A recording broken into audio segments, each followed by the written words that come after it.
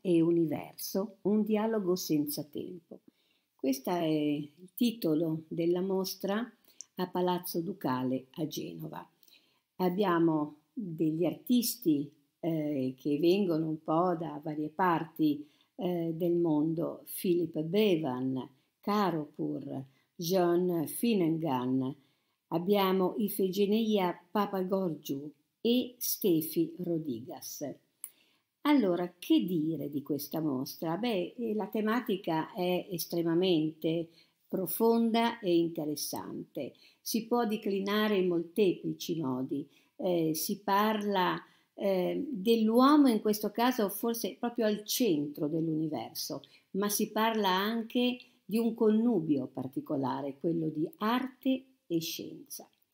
Universo però non solo può essere inteso come l'universo fisico, ma si può parlare anche dell'universo che è intorno a noi, la nostra casa, la nostra famiglia, i nostri rapporti possono essere il nostro universo, ma ci può essere anche l'universo dell'ambiente, ci può essere l'universo di quello che vediamo accadere nel mondo. E poi, certamente, c'è un universo più spirituale, qualcosa che eh, ci porta e, e ci fa andare verso l'alto, a qualcosa forse di più sublime.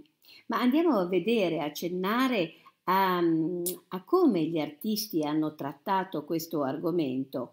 Philip Beven, beh, con la, l'arte ehm, astratta, il colore, eh, sappiamo bene che questo, questo tipo eh, di disciplina artistica lascia libero spazio all'immaginazione, ma lui è riuscito a catturare non solo eh, tramite questa eh, gestualità istintiva, ma anche con il colore. Il colore che è utilizzato è sicuramente molto accattivante.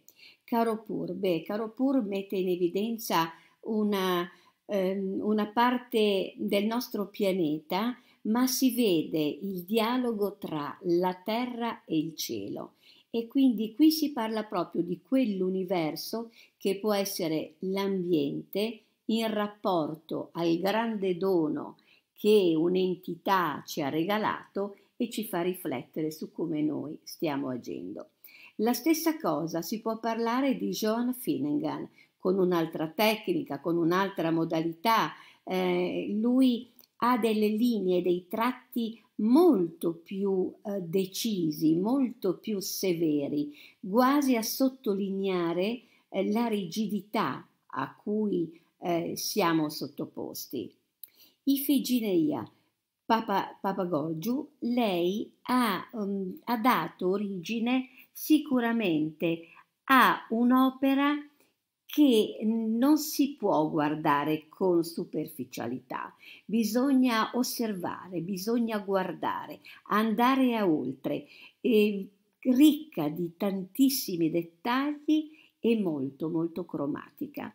Terminiamo con eh, un artista che ha messo il focus su un problema del nostro pianeta, un problema della, dei fanciulli, dei bambini, il problema dell'acqua, e sto parlando di quest'artista Stefi Rodigas, e c'è un'immagine di una grande, che dà una grande emozione, uno sguardo di questo, eh, di questo fanciullo che è già un universo che si vede nei suoi occhi.